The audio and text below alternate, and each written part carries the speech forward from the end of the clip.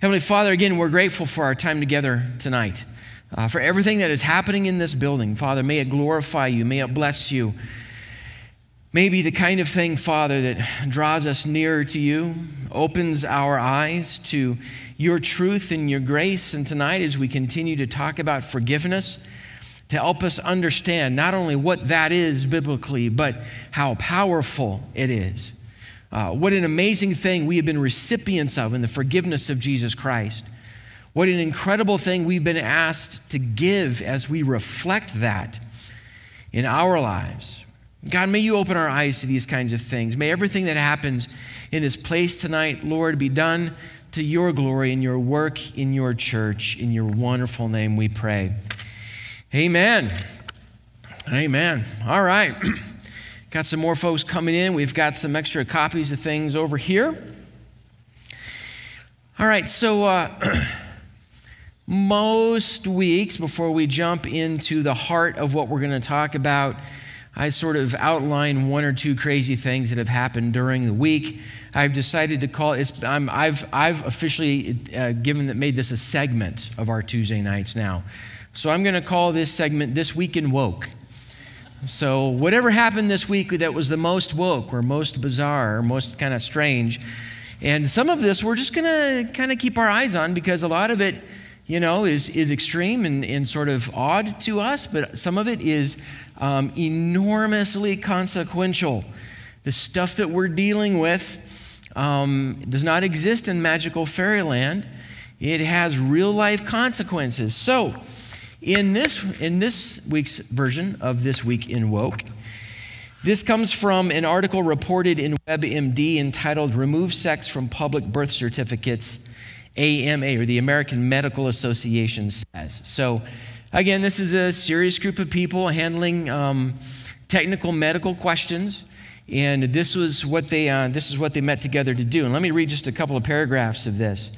Robert Jackson, MD, an alternate delegate from the um, American Academy of Cosmetic Surgery, spoke against the measure of removing sex from birth certificates.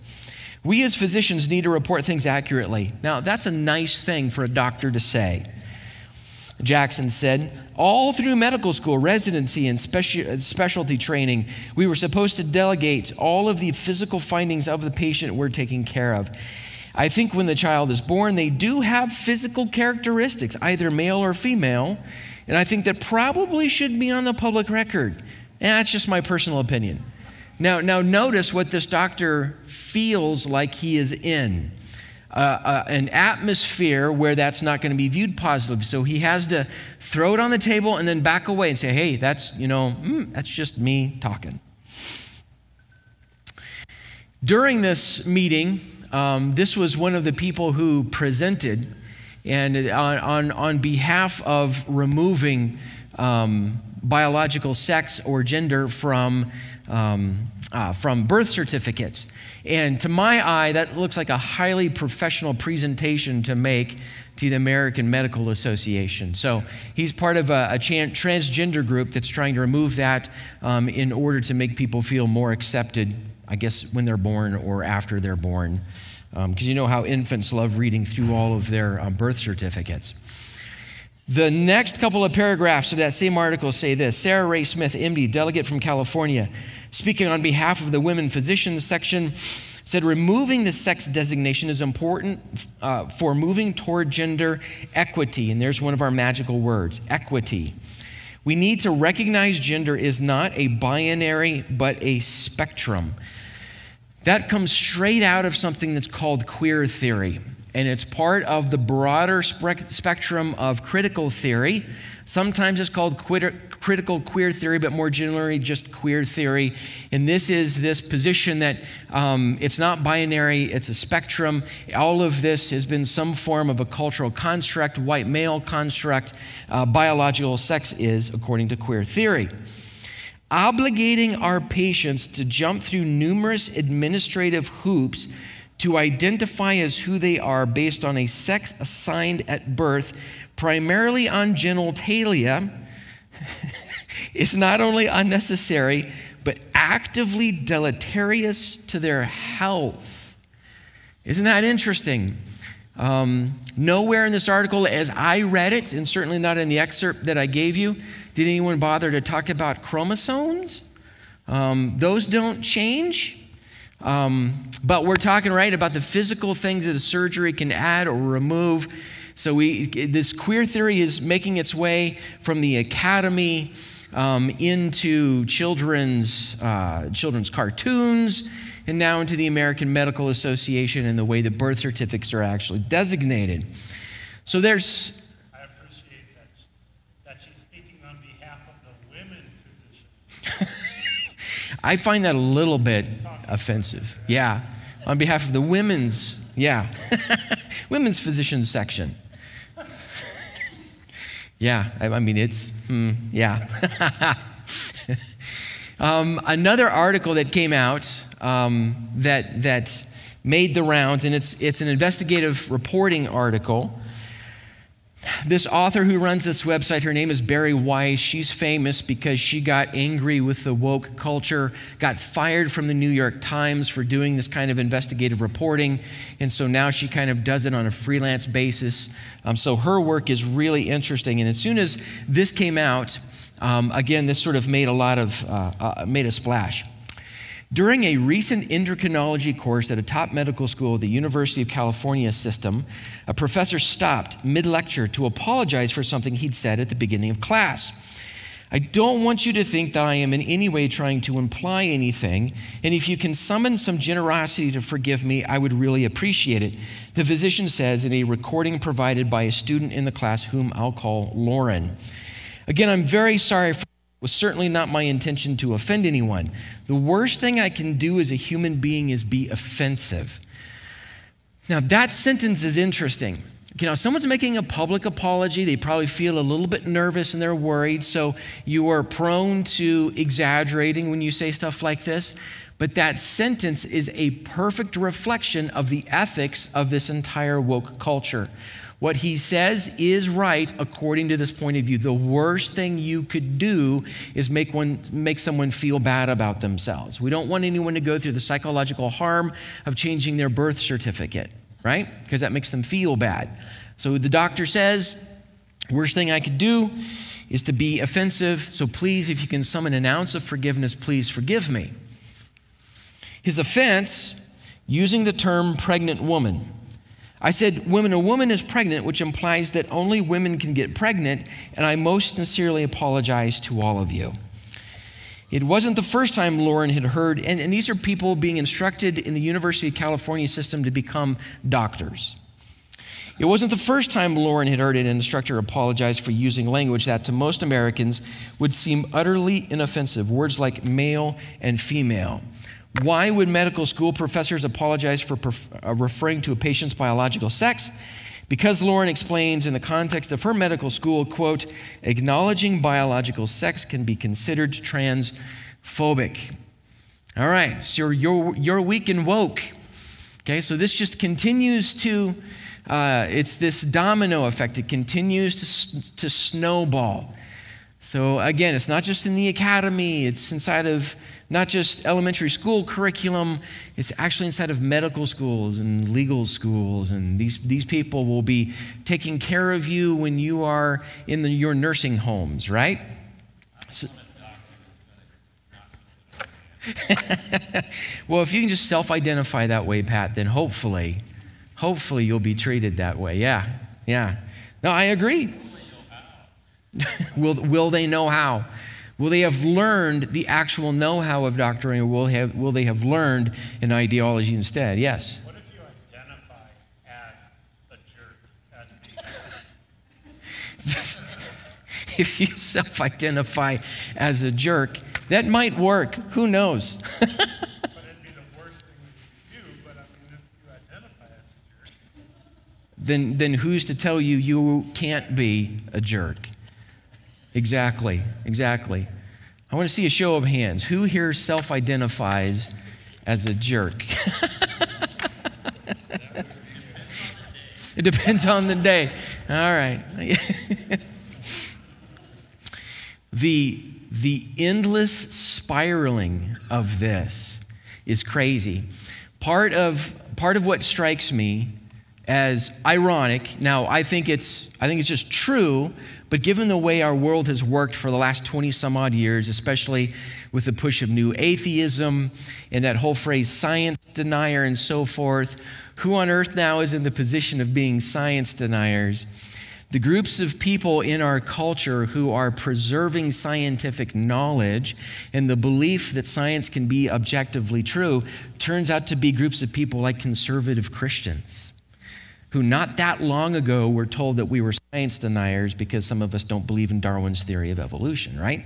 And yet, this point of view has disconnected itself literally from reality for so long now that man, we are sliding down this hill at a really, really rapid rate. All right, so I give that to you for, for kicks and giggles. Um, our week in woke, and there's some information, and you might have some uh, follow up on some of that if you'd like to. So, I want to jump back into some of the uh, theological and conceptual reflection on uh, this whole world of worldviews, this critical race theory, and to continue to talk about guilt, repentance, and forgiveness. There's at least one other concept that I want to pass through the lens of Scripture that is hard baked into critical race theory and critical theory. Um, and how does it actually work with um, the Christian worldview or theology or scripture or how Christ talks about forgiveness? And as we get there, I want to remind us of a couple of really important things. We dealt with this last week, but I want to kind of touch on it a little bit more before we get into the specifics you I want to talk about tonight. Let's recall that wokeness, this point of view, combines what that activist last week, that activist who came out of this worldview, she found it so unsatisfying. She couldn't find restoration or forgiveness. And she said, what it does is it combines infinite guilt with infinite responsibility, and it's unsolvable. You can't fix that. There's no forgiveness there. It's Christianity without mercy, is what she said. And more and more people who read these folks and interact with this ideology and put up with this ideology are saying the same kinds of things. It's guilt and shame heaped from one group upon another, and there's no way of getting out from underneath it except under extreme conditions. We're going to read one author, a white pastor, who believes that it's his job to continually repent for white sin and the sin of white Christians. And he can't find a solution for it, but he's constantly repenting of it. So there's this sense of a certain group of people, especially whites, especially white Christians, are in this perpetual mode of self shame and repentance, struggle sessions um, reparations, we talked about reparations last week. There are only these really extreme ways to answer the question, and even then, the answer forgiveness really isn't dealt with. We read a section from Os Guinness's book, The Magna Carta of Humanity, last week. Here's one more piece of his book, something else that he says touching on this issue specifically. And by the time Os Guinness gets to the end of this book, he's had plenty of things to talk about with both um, right and left sides of politics. But man, he just, um, he, he just, he just, he, you know, as some pastors say, he brings the fire when it comes to the last couple of his chapters. And he, he has nothing good to say about what he calls the progressive left. So that's what he's referring to as the cultural left. The left constantly castigates its enemies for their flagrant sins, such as racism, sexism, and homophobia, but it offers no mercy and no forgiveness. There is no way back from any of their sins. To anyone charged with one of the left's deadly sins, the agitators and the social media mob are ruthless. They mete out instant convictions in roadside sentences with unsmiling severity and hurry the hapless victims toward Madame Guillotine with summary dispatch. Unless, of course, the accused is one of their own, in which case they are spirited to safety. Right? So just bam, we're going to get rid of these people and we're going to get rid of them quickly unless you're on the in crowd, right? And then we're going to deal with you in a very different fashion. Thank you, Al. I didn't mean to call you during service, Al. I apologize for that.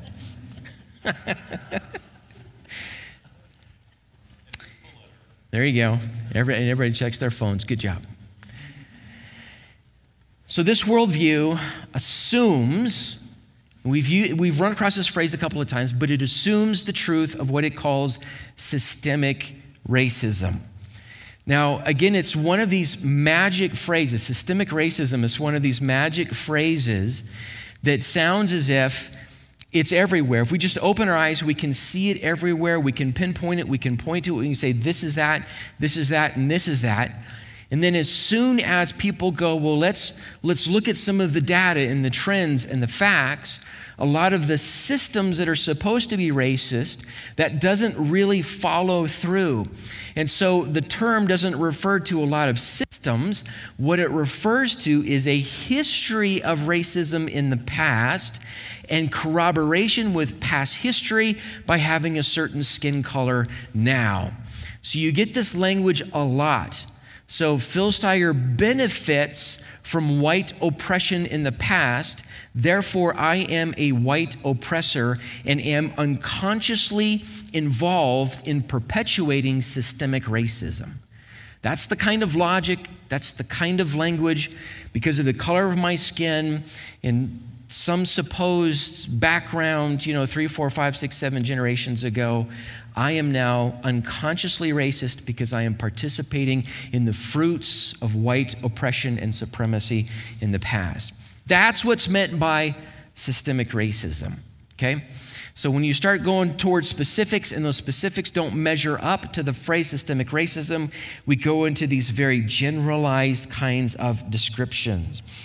Now, part of the weakness of this ideology is how it reacts to criticism. When you go after it and you ask actual questions, or you go after actual data. And then the way they respond to criticism helps us, if, if we are sharp thinkers and we're aware of things, helps us see the weakness of the position to begin with.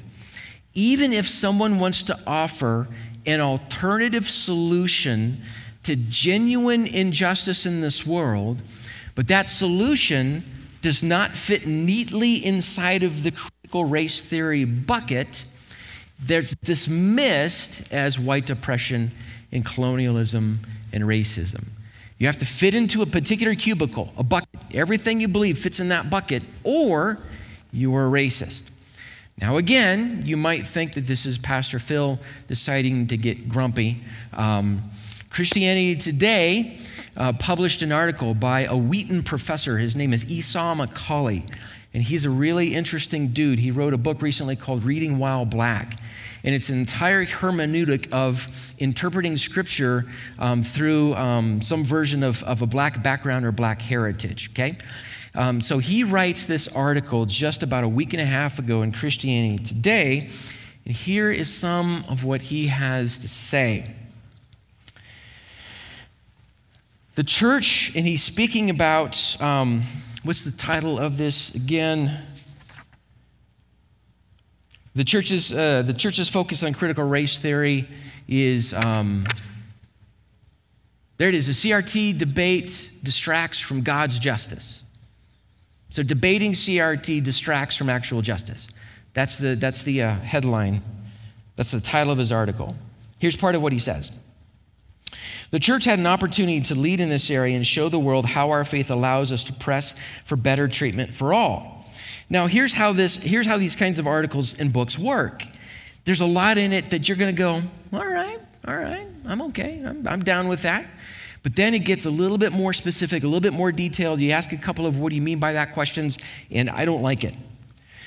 Instead, some decided to litigate the validity of critical race theory with black and Asian blood drying on the concrete streets of American cities. Some, and notice the emotionally evocative language there. Some decided to debate the existence of systemic racism. They did not look at the thing itself. Instead, the thing itself became the occasion for a tired dispute, which, by the way, he helped perpetuate. That debate revealed how portions of the church were ill and in need of healing well before the airborne contagion made its way into these shores. These sick parts of the body of Christ told us to, quote, just preach the gospel. So, if you disagree with any of this stuff, you are part of the sick parts of the body of Christ. If you think that the gospel is actually a pretty powerful thing and can do some pretty amazing things in the lives of people and inside of systems of people, then you're just part of the sick group of the body of Christ. Now, the article is short and it goes on to say several more things like this. In articles like this, get under, I have to, I, I have to, I have to hold myself because it gets under my skin. I have to get over this, but they get under my skin. Um, because this, this, is an, this is, was a headline article at CT Today for a couple of days. Um, so it's one of the articles that they're, they're telling us about, about them as much as they are anything else. So, one of the mistakes made by authors like this and articles like this is a mixture of these logical fallacies and this kind of emotional manipulation. You can feel inside of just these two, this paragraph in one sentence, you can feel some of that sort of emotional manipulation. There are these dying bodies on the streets, and you're just not paying any attention to them whatsoever. He goes on to talk about um, Asian discrimination, but doesn't talk about who's most responsible for the beating up of Asians in streets. He doesn't do that, right? So, emotionally evocative language, and if you disagree with him, you're sick. So it makes a lot of mistakes. These kinds of articles make a lot of mistakes. Let me see what we've got going on here. Some of those mistakes are things like gaslighting, guilt by association, and false generalization. So, what is gaslighting? If you learn what gaslighting is, you will understand what's happening in our culture more than you have understood what's happening in our culture at all. So, gaslighting is what happens when person A does something rotten to person B, and person B gets upset and reacts to person A. But person A is able to make person B feel like the guilty instigator and the one who is responsible for everything that happened originally. Okay, so that's gaslighting. So, what this guy does in this article is gaslighting. All they wanted to do is talk about critical race theory. So he's just saying it wasn't our fault, it was your fault. It wasn't the fault of critical race theorists, everyone who disagrees with us, it's their fault. Guilt by association. Um, all churches are the same. All white churches are the same and have been the same throughout all of American history. And these false generalizations are the same kinds of things. Inside of this article, he doesn't admit the possibility of people who hate racism and also think that CRT may not be the answer. He doesn't admit the possibility that there are smart people who hold both of those beliefs. I hate racism and I also think CRT may not be the answer to our problems. He lumps every church into the basket of sick, sick parts of the body. He accuses all of them, and he's accusing, by extension, guys like me of just wanting another red scare. But then Scripture has plenty to say, plenty to say about what's wrong with hatred of another person, but is able to completely avoid the mistakes of CRT while talking about it. 1 John chapter 2 verses 9 and 11. Whoever says he is in the light and hates his brother is still in darkness. Well, there you go. Whoever loves his brother abides in the light. You're abiding in the truth of the kingdom of God. The Spirit is at work within you. But that's not the case if you hate your brother. And in him there is no cause for stumbling.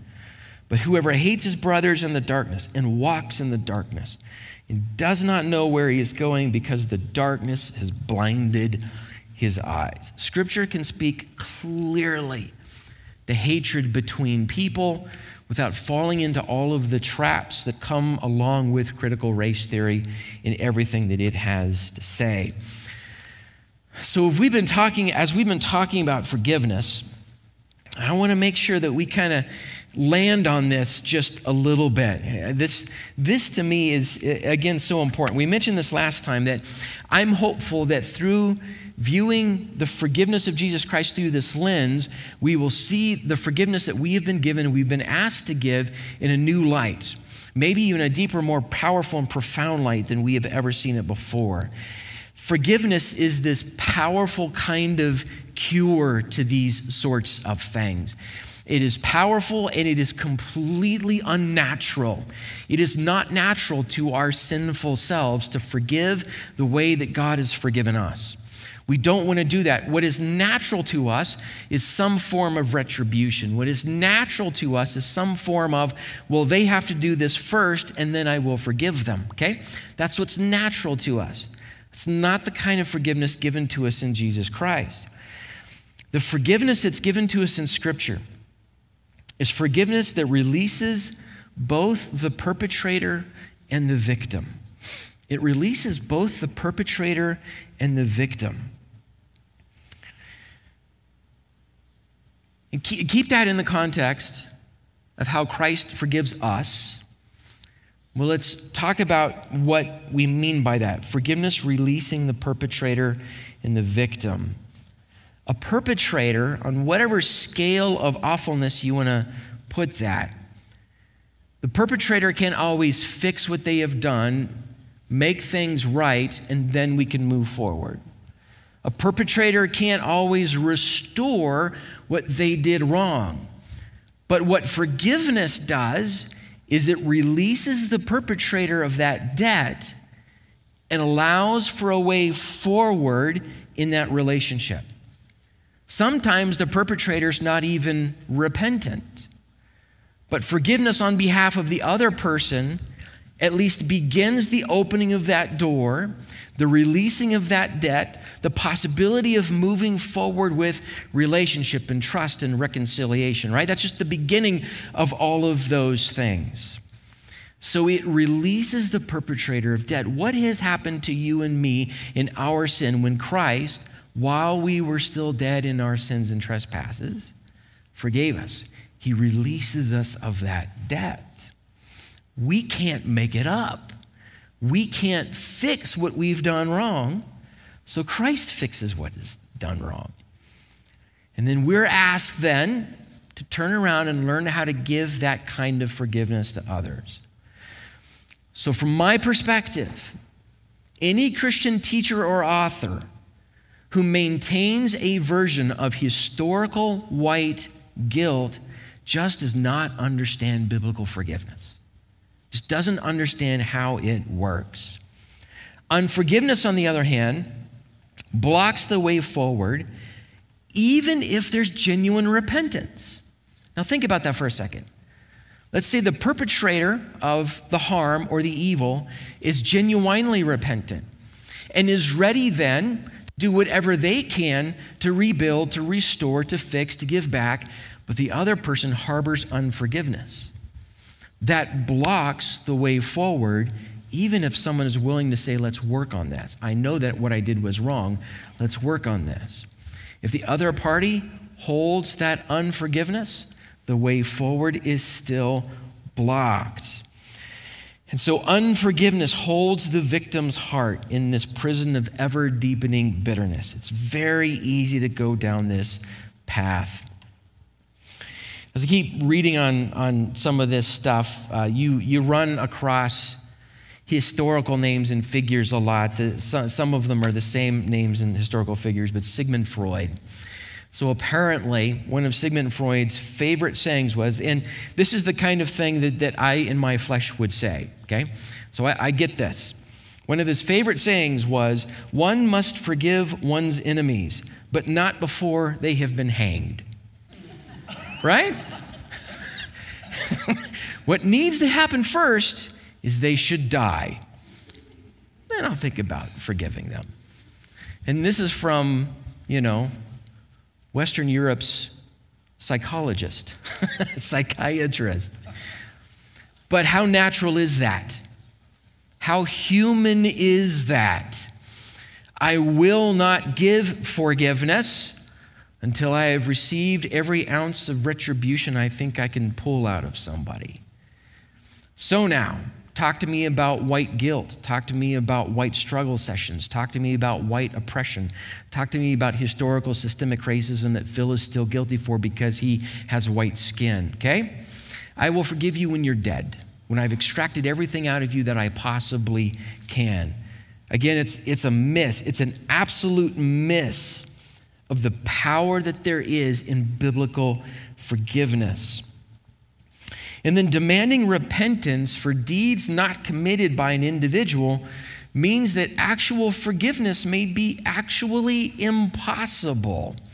There may be some form of, of reconciliation between individuals, but that historical past caused by other people has neither been forgiven nor repented of because those individuals are not involved. Okay?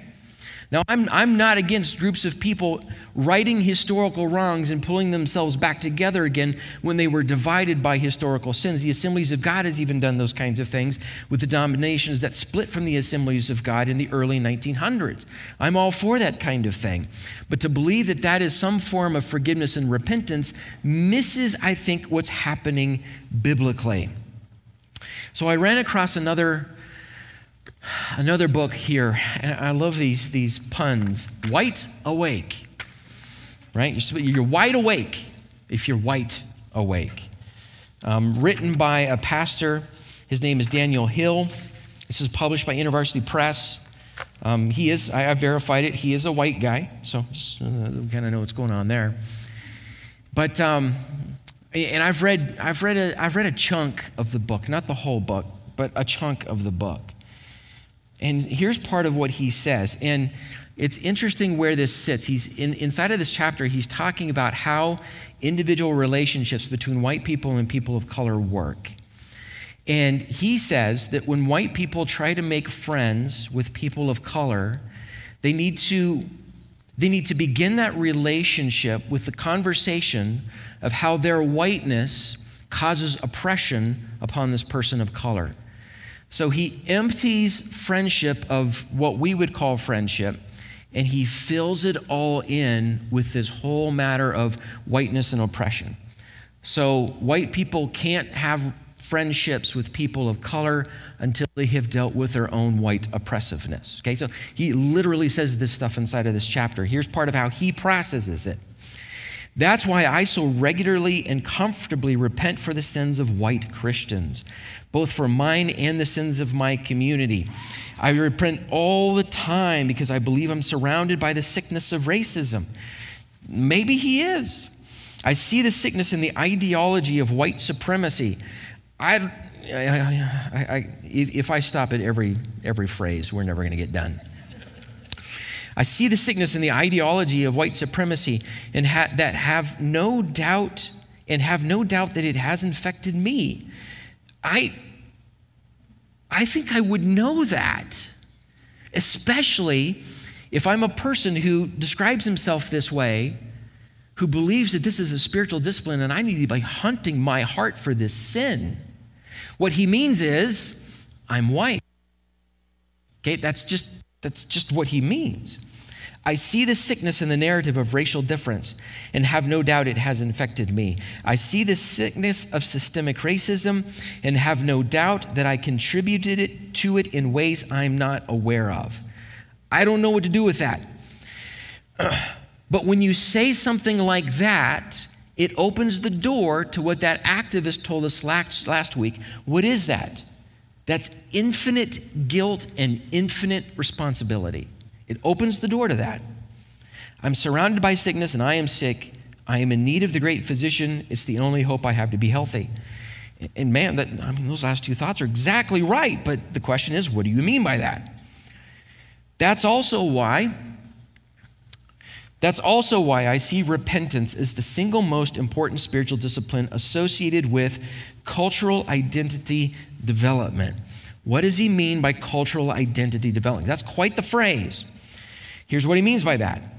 I would even say that it's the single most important spiritual discipline for finding white liberation. So it's just white, white, white, white, white, white, white, white, white. This new vision of repentance blows up the self righteousness grid and brings forth liberation. I think the old version of forgiveness blows up self righteousness and liberates me in Jesus Christ, okay? And then he finishes this little section with these, these kind of um, punchy sentences. Now, we no longer have to base our cultural identity on an association with the good group, when in fact, the ideology that he holds to does exactly that. Now, we no longer have to base our cultural identity on a rejection of the bad group. Those first two paragraphs were rejecting white people. Okay, so that's exactly what his ideology does. Now we, have no, we no longer have to worry about proving, earning, or achieving acceptance. We talked about this last week. All of it is works righteousness. All of it is works righteousness. So those three conclusions to his ideology are precisely the opposite of what he just said. Does, does that make sense? So see, he's got it all the way around, turned around. Now take that vision of what it means to relate to someone who has a different skin color than you do, right? Or to be in a constant mode of repentance for things that I am sure that I am guilty of, but I don't even know what they are. Take all of that and we, we think about this. We oppose that to the biblical vision, 1 John 1, verses 9 and 10. If we confess our sins, he is faithful and just to forgive us our sins and to cleanse us from all unrighteousness. If we say we have not sinned, we make him a liar, and his word is not in us. Individuals or groups. If an ideology says there's a group of people who have not sinned, it means God is a liar. I think I saw a hand. I'm not sure if I should call, but go ahead.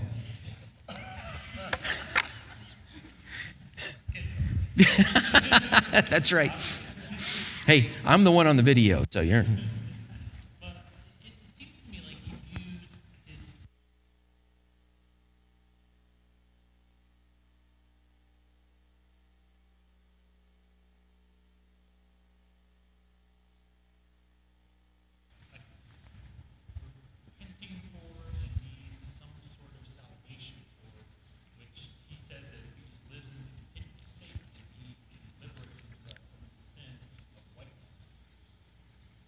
Yeah, yes, because of the color of his skin, he carries his guilt around with him.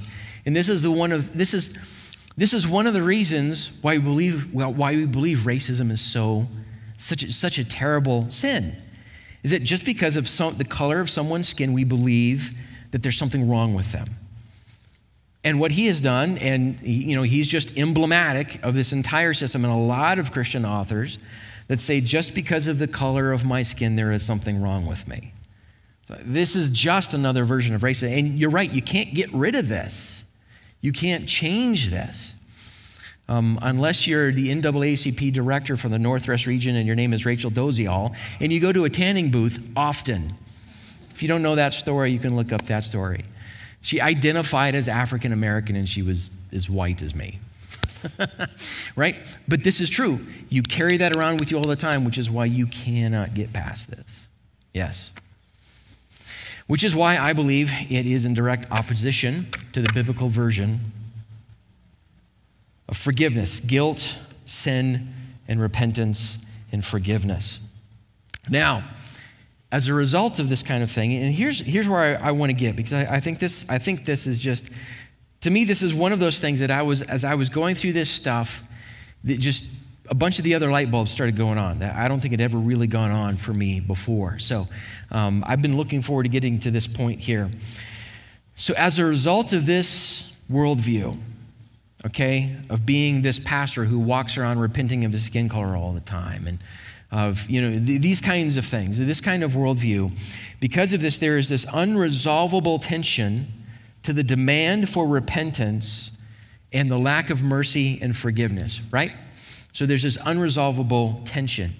And we're going to call this tension the scapegoat effect. There's a reason we're going to call this the scapegoat effect. All right, now this citation comes from, and I mean only here, people, seriously, only here.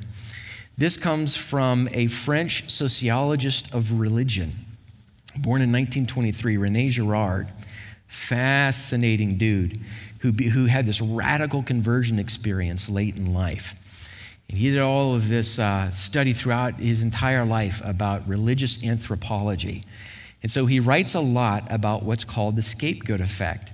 So he writes this in 1977. So he's not writing this in reaction to the summer of 2020 or, you know, critical race theory in the early 2000s. He's not doing that. This is just what he sees going on in the world around him and how he understands it. And so I, w- I want to hear this. I-, I want us to hear this. The scapegoat effect. What does he mean by this? By a scapegoat effect, I mean that strange process through which two or more people are reconciled at the expense of a third party who appears guilty or responsible for whatever ails, disturbs, or frightens the scapegoaters. They feel relieved of their tensions and they coalesce into a more harmonious group.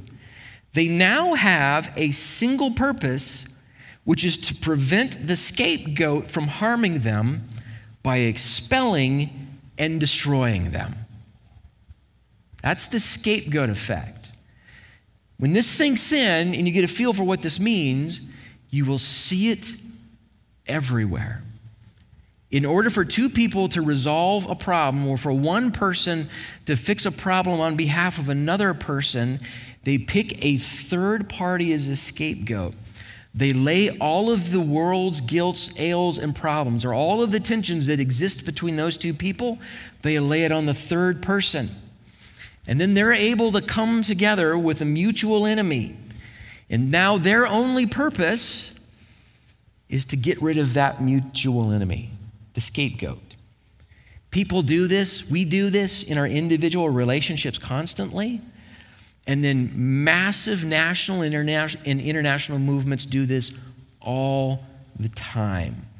So the scapegoat, the scapegoat is a third party victim. They're perceived as guilty, whether they are or whether they aren't doesn't matter. They're perceived as guilty, and guilt is placed on them. And that's how two other people or two other groups of people can fix what they see as wrong. So, for instance, for a very long time, pagan cultures would offer sacrifices to appease their gods. So, they would sacrifice an animal to reconcile what was broken between them and their God. Um, or even to seal a treaty. So, two tribes finally you know, come together after you've killed enough of each other. They finally come together and they'll offer sacrifices. They'll, they'll lay all of that blood guilt on another offering or sacrifice, and then they come together. So they're laying guilt on something else in order to come together. Early in the rise of the Nazi Party, the Jews were treated as the problem that the Germanic people had and the rest of the world had. So that gave them a lot of the social and economic power to begin to annex other nations, to build a bunch of allies, which, by the way, most people don't know this, one of those allies early in the Nazi Party was the nation of Iran. So, what holds a nation like Iran together with the Nazi Party? The scapegoat of anti Semitism. We all hate the Jews. They're what's wrong with everything, okay? Which, by the way, is still happening. Anti Semitism is on the rise. And it creates this, if you're successfully able to scapegoat, it creates this strong sense of tribalism in all of the wrong senses of the term. Everyone can now turn the scapegoat into the reason for all of their problems. And they can join forces against the scapegoat. So, what it does is it very easily evolves into a drive to expel or destroy the scapegoat so that all of our problems can finally be solved. I mean, what was it the Nazis called their death camps? The final solution. Um, we're laying all of our guilt on someone else and we're getting rid of them. The scapegoat effect um, is universal. This is one of the things that Rene Girard found in his research. It's, a, it's practice in all religions and in all cultures in one form or another. It's natural inside of our interpersonal relationships and so forth. Why is the scapegoat effect or the scapegoat impulse, why is it universal? Because the human need for forgiveness is innate. We know that there is guilt and injustice, and we long for ways to forgive guilt and to solve injustice. When we do not allow God into the picture, or if we get the gospel wrong, like a lot of Christian writers are doing right now, we scapegoat all the wrong people and end up with more problems than we began with. I'll tell you what's wrong with this culture white people. Yes, you heard, you heard me. white people. So, the woke and the intersectional crowd has chosen their scapegoat. And the scapegoat is the white guy, it's whiteness. And we've read the passages where they say that whiteness is a disposition of racism. They've just defined it as such. And the first in line to be thrown on the altar to fix all of society's ills are white, heterosexual Christian males. Those are the bad guys. Even woke Christians view the problems in our society as a result of white Christians, and we heard that inside of that text. And, and guys, that is not uncommon. When you read enough of these articles and books, you read that over and over and over. It's in these Twitter accounts constantly. This phrase, white evangelical, is not a descriptor, it is an insult, okay? It's just the way that it works now.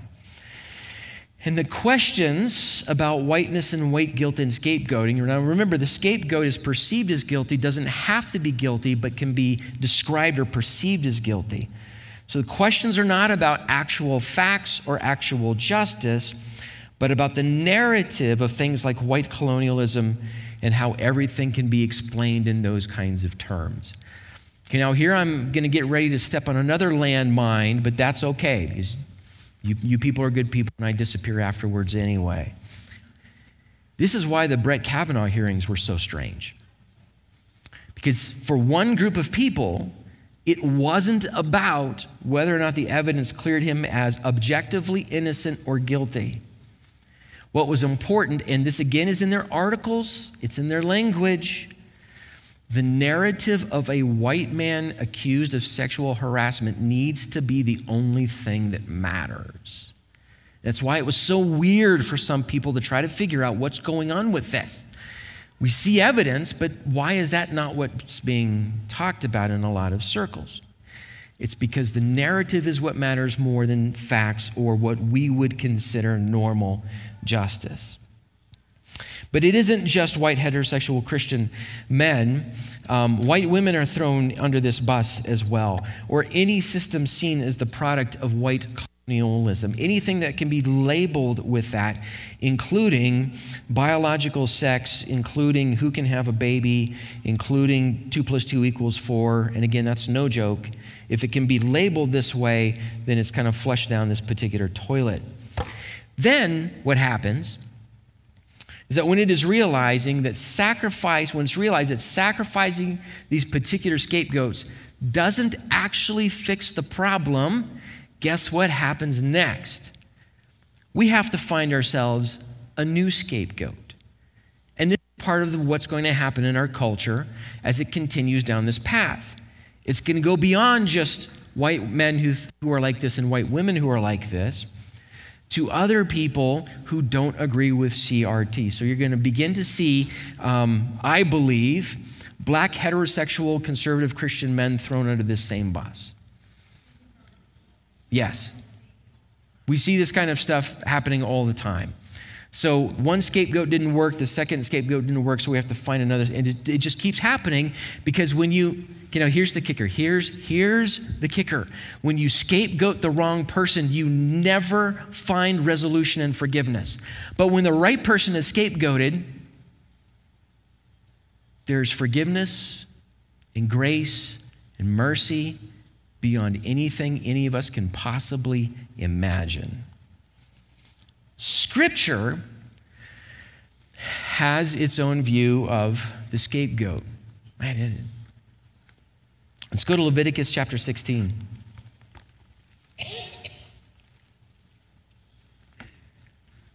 There we go. Leviticus chapter 16. The Day of Atonement. Lots of sacrifices in the Old Testament, lots of days of feasts and fasting, a lot of reasons and opportunities to repent of sin and to sacrifice. The Day of Atonement is the big one. Okay, it's the one that's intended to sort of handle unrepentant of national guilt and sin. The high priest is the primary one who is involved. Leviticus chapter 16 describes the sacrifice of the bull and what you do with the blood, but it also describes the story of two goats that are involved in the story of the Day of Atonement. So in Leviticus chapter 16, verse 1, the Lord spoke to Moses after the death of the two sons of Aaron, and they drew near before the Lord and, uh, and died. And the Lord said to Moses, Tell Aaron your brother not to come any more at this time into the holy place inside the veil before the mercy seat that is on the ark, so that he may not die. For I will appear in the cloud over the mercy seat. But in this way, Aaron shall come into the holy place with a bull from the herd for, for a sin offering and a ram for a burnt offering. He shall put on the holy linen coat that shall have the linen undergarment on his body, and he shall tie the linen sash around his waist and wear the linen turban. These are the holy garments. He shall bathe his body in water and then put them on. And he shall take from the congregation of the people of Israel two male goats for a sin offering and one ram for a burnt offering. So we're ramping up to how the Day of Atonement works. Aaron shall offer the bull as a sin offering for himself, and shall make atonement for himself and for his house. Then he shall take the two goats and set them before the Lord at the entrance of the tent of meeting. And Aaron shall cast lots over the two goats, and one lot for the Lord, and the other lot for Azazel. And Aaron shall present the goat on which the lot fell for the Lord and use it as a sin offering. So that goat gets sacrificed. But the goat on which the lot fell for Azazel shall be presented alive before the Lord to make atonement over it, that it may be sent away into the wilderness to Azazel. Right now, Azazel is this really interesting old Hebrew word that the ESV, because the way it's translated, just translates the word and gives you a little kind of a note to try to describe it. The NIV, I've given you the NIV version of a couple of those verses. He is to cast lots for the two goats, one lot for the Lord and the other lot for the scapegoat. Aaron shall bring the goat whose lot falls to the Lord and sacrifice it for a sin offering. But the goat chosen by lot as the scapegoat shall be presented alive before the Lord to be used for making atonement by sending it into the wilderness as a scapegoat. All right, a lot of stuff about what you do with blood. So let's go down to verse 20 here in, in chapter 16. And when he has made an end of atoning for the holy place and the tent of meeting in the altar, he shall present the live goat, the scapegoat. And Aaron shall lay both of his hands on the head of the live goat and confess over it all of the iniquities of the people of Israel and all their transgressions and all their sins, and he shall put on them put them on the head of the goat and send it away into the wilderness by the hand of a man who is in readiness. So there's a guy ready there to walk the goat into the wilderness. The goat shall bear all the iniquities on itself to a remote area, and he shall let the goat go free into the wilderness. So the covenant people of God, and we talked about this last time when we talked about corporate guilt. The covenant people of God are having their sins symbolically laid upon this goat. Um, one of the goats has to die, and the other goat um, actually has this scarf tied around its neck, this red ribbon, and it's led off into the wilderness, and it is the scapegoat. And notice how that works. Aaron symbolically lays his hands on that goat and takes all of the sins of the nation of Israel on the goat, and the goat gets to go away. So, what's beautiful about this is that as Scripture explains this to us, explains this to us that Jesus is our scapegoat. All of our sins have been placed on him, and all of our sins are gone away. Christ fulfills all of this imagery inside of the Day of Atonement. He is the one whose blood is shed. He is the sacrifice that dies upon the cross. He is the one upon whom all of our sins have been placed. He is the one scapegoat that actually works. So he is the willing sacrifice that reconciles us to God and to each other. Wokeness and intersectionality are obsessed with finding different scapegoats. You've got the uh, you, have got it in your notes there. This again from this book, American Awakening. I like the way that he puts this. The answer identity politics give is that one group must scapegoat another group to find justice. This has generated a politics concerned with little more than recording who in the book of righteousness is stained and who is pure. A politics in which those who are innocent one day become transgressors the next, but barely the reverse. It means by that, once you become a transgressor group, you're almost never allowed back into the innocent group. I have noted that after the first group of transgressors, heterosexual white men, has been purged, a new group of innocents must step in to take its place. Only if the scapegoat is divine can citizens be relieved of their need to scapegoat other mortal groups, look upon one another as equals, and thereafter build a world together. Only if the scapegoat is divine can we actually be reconciled to each other and, of course, reconciled to God. I've given you some scripture there, thinking about how that works with the scapegoat there in Leviticus chapter 16. How forgiveness works as our sins are placed upon Christ in our acceptance of Christ as our Savior. Listen to some of this, uh, some of the scripture from Psalm 103, verses 9 through 12. Speaking of how God handles these things, He will not always accuse.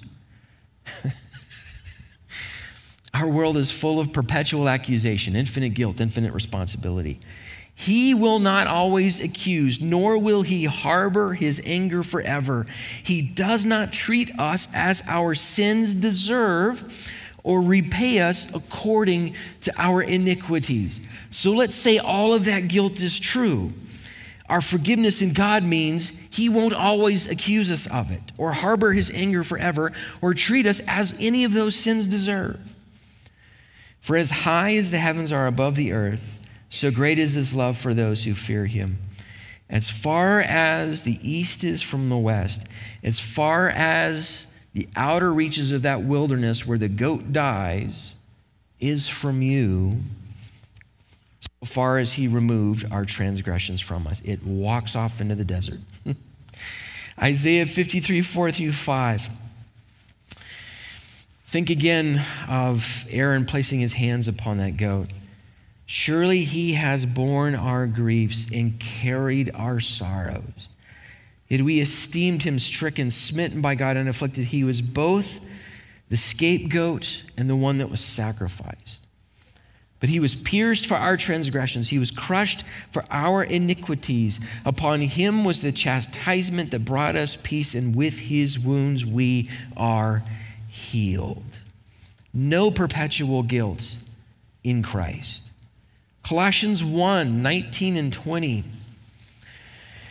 For in him all the fullness of God was pleased to dwell, and through him to reconcile to himself all things, whether on earth or in heaven, making peace by the blood of his cross actually making peace, not perpetual, unresolved repentance or forgiveness that can't ultimately be forgiven.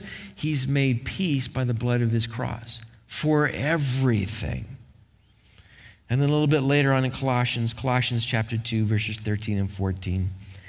And you who were dead in your trespasses and the uncircumcision of your flesh, God made alive together with him having forgiven us all our trespasses by canceling the record of debt that stood against us with its legal demands.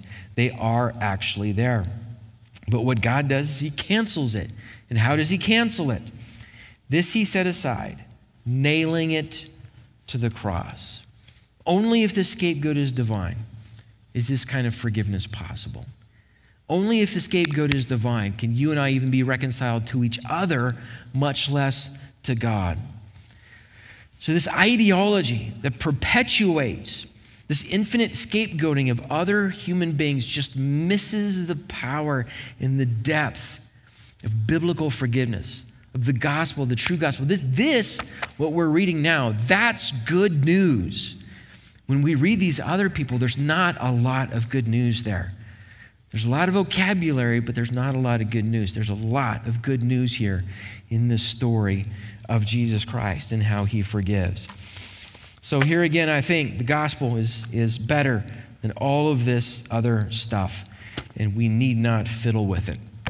Let's pray. Heavenly Father, we are grateful again for this time together tonight and for our glimpse into forgiveness and how we have seen through these last few weeks what it means to be made in the image of God. To stand before you as, as truly guilty, to have sin within us, but then to find the, the righteousness that is given to us in Jesus Christ and to find the good news of the gospel, the forgiveness of our sins, the steadfast mercy of our God, the one who will not be angry with us forever, the one who will not treat us as our sins deserve, but the one who is made possible through the shed blood of his son, Jesus Christ, that we can actually be reconciled to you, and that then we can turn to our neighbor and not treat them as my problem. We can turn to our neighbor and not treat them as what's wrong. But I can learn to treat them as another person who's made in the image of God, an image bearer, a potential follower of Jesus Christ who themselves can be forgiven of everything. It's a different way of seeing each other, it's a different way of seeing the world. And God, may we in this culture have your eyes instead of the world's eyes. For in your vision of us and in your vision of the gospel and in the work that you've done for us, that is where we find good news. That is where we find hope. And teach us, Father, to be these kinds of people in this world today. In your magnificent, wonderful name, we pray, Jesus.